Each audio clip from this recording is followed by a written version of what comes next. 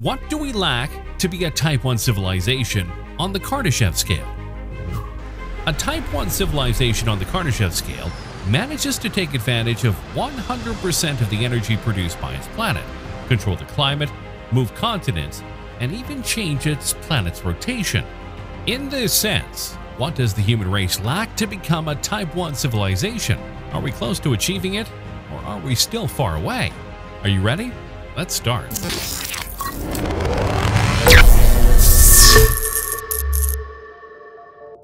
The level of technological development of any civilization can be measured mainly by the amount of energy they need, but it also encompasses the management of that energy and how they use it to develop and grow on their home planet. Following Kardashev's definition, a Type 1 civilization is capable of storing and using all the energy available on its planet. This includes all known electricity generation methods, as well as those that depend on the elements available on the planet nuclear fusion and fission, geothermal energy, as well as that which they can collect from their star without leaving the planet. The human race has not yet achieved this level of development, but will we ever reach it? And if so, when will we achieve it? Previously, we already made a series of three videos in which we addressed the three types of civilizations that exist according to the Kardashev scale. But today we will focus on analyzing why the human race has not yet managed to become a Type 1 civilization and how far we have to go to become one. The Great Filter Technological development over the last 5,000 years of human civilization has brought our species into the domain of life on Earth. It has placed us on the path to becoming a Type 1 civilization, and perhaps beyond. However, along with the continuing and profound sociological challenges, our progress threatens to end or severely delay our civilization with wars, famines, natural catastrophes, and the latent threat of self-destruction in a senseless nuclear war that leaves the planet uninhabitable for thousands of years.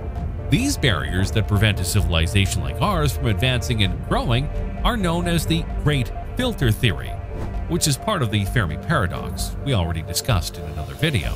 Currently, it is not yet known what is the great filter that great civilizations run into that prevent them from becoming a civilization of any kind on the Kardashev scale. But while we face life-threatening threats, scientists believe technology may also be the key to our long-term survival.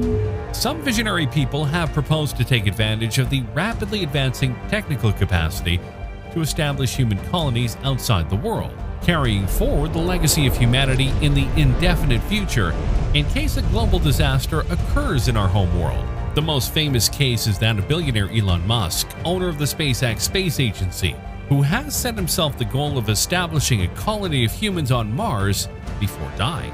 The idea of dispersing the human race into different worlds to ensure our survival is not at all far-fetched considering that of the countless millions of species of living beings that have been in the entire history of the Earth.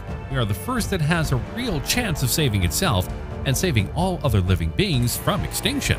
Technological processes has placed in the hands of humanity the future of our world and all living beings that inhabit it.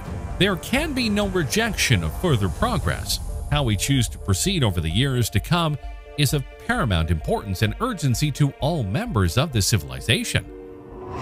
Will we run out of energy one day? The most critical factor in measuring civilizations using the Kardashev scale is energy. The human race has managed to develop a wide variety of methods to produce energy, from renewables such as wind, solar, tidal, and geothermal, to non-renewable ones such as fuel burning and nuclear energy. In comparison, a Type 1 civilization has developed methods to produce energy and harness every last drop of energy its planet provides. A Type 1 civilization can create nuclear fusion plants at will. This is the same process that takes place in the Sun's core. That is to say, this type of civilization can create miniature stars. They can also produce antimatter in large quantities and harness its energy and can even harness the energy of natural phenomena such as lightning volcanic eruptions, and even hurricanes. In contrast, the human race has not yet managed to take advantage of 100% of any energy. Still, we are on the right track. Today, the production of electrical energy reaches 17.54 terawatts, equivalent to 0.724 on the Kardashev scale. At this rate, it will take more than 200 years to become a Type 1 civilization. Fortunately, things can accelerate a bit if we leave aside fossil fuels. More efficient energies for human development. In addition to the intense pollution caused by fossil fuels, these have a considerable drawback, and that is that sooner or later they will run out.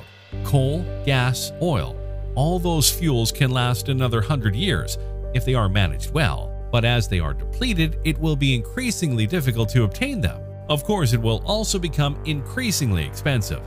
A Type 1 civilization cannot depend on such inefficient fuels. Humanity will be freed from dependence on fossil fuels when governments are sufficiently aware of the potential environmental problems they cause worldwide. When this happens, alternative energy resources such as nuclear, solar, and wind energy are mass developed to replace hydrocarbons. As the transition process ends, fossil fuel consumption will decline to a relatively low value as our society will have minimal need for them. Thanks to this, humanity will find new opportunities to grow without limits by taking advantage of inexhaustible energy sources such as solar, nuclear, or geothermal. With this transition of energy types, we can become a Type 1 civilization in less time and gradually dominate the world where we live controlling the climate at will and forgetting forever about natural disasters. How to feed billions. Growing as a civilization will also imply growth in the number of inhabitants. Currently, humanity is close to reaching 8 billion people. If we continue to grow at the current rate, this amount will likely double by the year 2200. Although population growth is difficult to predict, what is certain is that no matter how many people we are in the future, we must necessarily develop methods to feed a population that will continue and continues to grow as we colonize nearby worlds such as the Moon, Mars, and some moons of Jupiter. Suppose we manage to colonize nearby worlds for the next century. In that case, we will also need to develop ships capable of traveling these enormous distances quickly, as we saw in our video how long it would take to reach each planet in the solar system. The distances to which the planets are located are enormous, and with our current technology, it takes many years and even decades to travel throughout the solar system. This is not at all comfortable for humans, since too much time in space atrophies our bones and weakens our bodies. To colonize other worlds, we must carry technology, food, and possibly water from the Earth. This will force us to invent new space transport systems, probably based on nuclear engines that use nuclear energy instead of chemical fuel, which is very heavy. These types of spacecraft will help us travel long distances in a short time, allowing humanity to expand throughout the solar system without complications.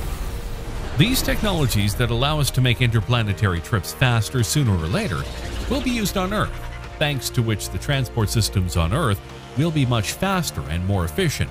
Going to the other side of the world will be as easy as hopping on a bus to go to the supermarket. Thanks to this, we can bring energy and food to any part of the planet without problems, and thus guarantee the survival of all members of civilization.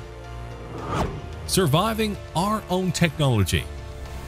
In the modern era, there is a global concern about nuclear wars and what artificial intelligence can do. On the one hand, only a handful of countries have nuclear bombs, but they have the power to destroy all life on Earth without any problems. And on the other hand, we have the slow but steady advancement of cybernetic technology and artificial intelligence that is capable of learning and doing things that previously only humans could do. Something that the day will come when artificial intelligence will surpass human intelligence. And when that happens, we will be in danger since this intelligence can rebel against us and destroy us with our own weapons. Fortunately, none of that seems possible, but we must not lower our guard. If we want to become a Type 1 civilization on the Kardashev scale, we must first survive. When will we get it? Based on everything that was talked about in this video, Cornell University scientists made a calculation using all the information available to estimate when the human race will become a Type 1 civilization.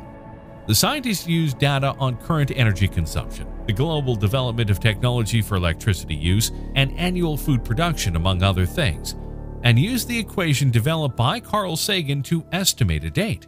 They finally concluded that at the current rate of development, if all goes well, if some environmental catastrophe or an event of mass destruction or a third world war does not occur, humanity will become a Type 1 civilization in the year 2371. But this is just an estimate, for several difficult to predict phenomena affect the calculation as our civilization advances. For example, technological and or social barriers that inhibit the acceptance and use of new energy technologies may arise.